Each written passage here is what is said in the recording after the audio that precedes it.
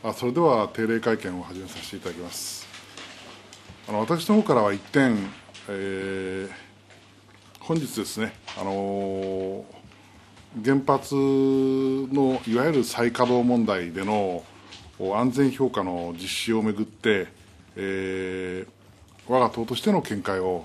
表明し、そして政府や各党にもこれを伝えたいと考えております。その発表させていただきます。それで、これはあの7月11日に政府が統一見解を発表し、それに基づいてですね、えー、今、定期検査中の原発の再稼働についてですね、えー、国民、住民の理解が得られているとは言い難いと述べてですね、えー、ヨーロッパ各国で導入されたストレステストを参考に、新たな手続き、ルールに基づく安全評価を実施するという方針を示しました。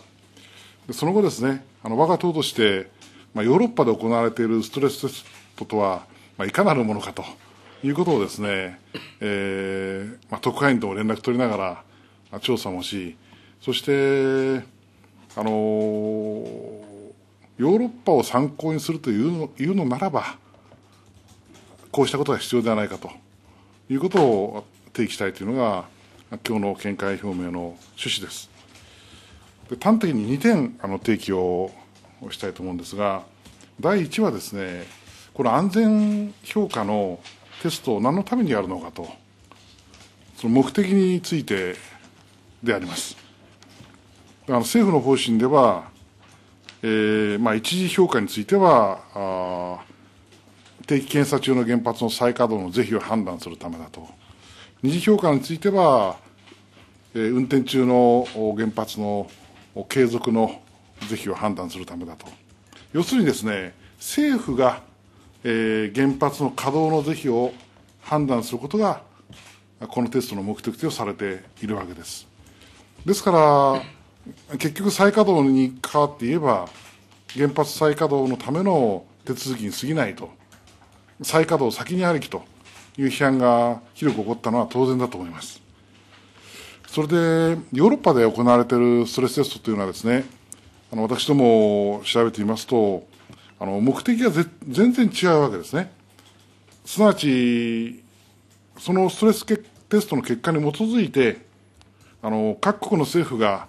その原発にお墨付き与えるっていうのが目的にしてるわけじゃなくて、原発の危険性についてのですね、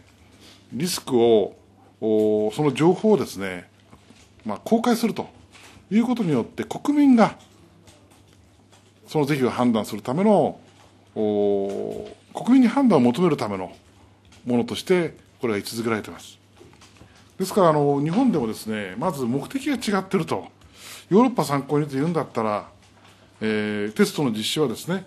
政府が原発の稼働を国民に押し付ける手段とすべきではないと国民が原発の稼働の是非を判断するために、その、それを目的にしてですね、原発の危険性についての情報提供を行うと、これを目的とすべきだというのが第一の提起です。第2はですね、この安全評価のテストを行う実施主体の問題です。政府の方針ではですね、これは電力業会社が実施すると、結果は安全委員会と保安院が確認するということになっていますけれども、この電力会社と原子力安全委員会と原子力安全保安院という3社はですね、まさに原発事故を引き起こした直接の責任を負っている、収束もできない、こういう人たちがですね、まあ、テストをいくらやってやっても、その信頼性というのは全くないということは、これは明瞭だと思います。まあ、テストをする側じゃなくて、テストをされる側がですね、この3社だと思うんですね。で、ヨーロッパのストレステストっていうのは非常に厳格で、原発事業者がテスト検査を行うわけですが、あの原子力の推進機関から独立した各国の規制機関が妥当性を評価すると。さらに7人かなる各専門家チームが検討すると。しかも最終的な総括報告が閣僚理事会に提出されると、まあ、1年余りの厳格な検査になってます。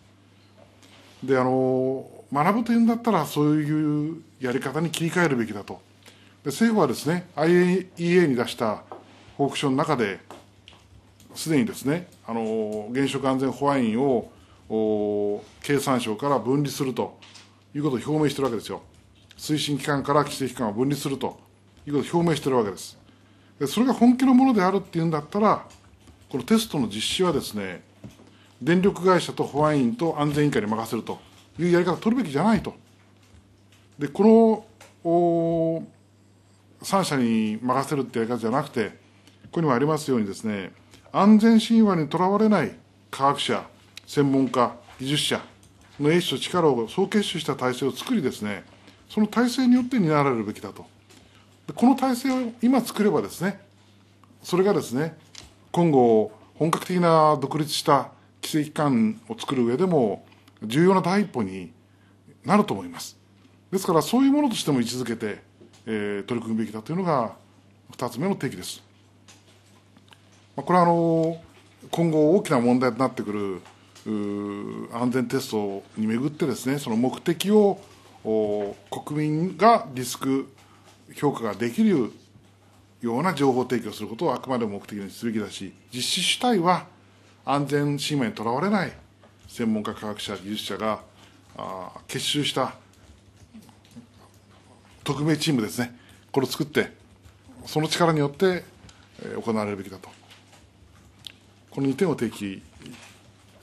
したいと思います。以上です。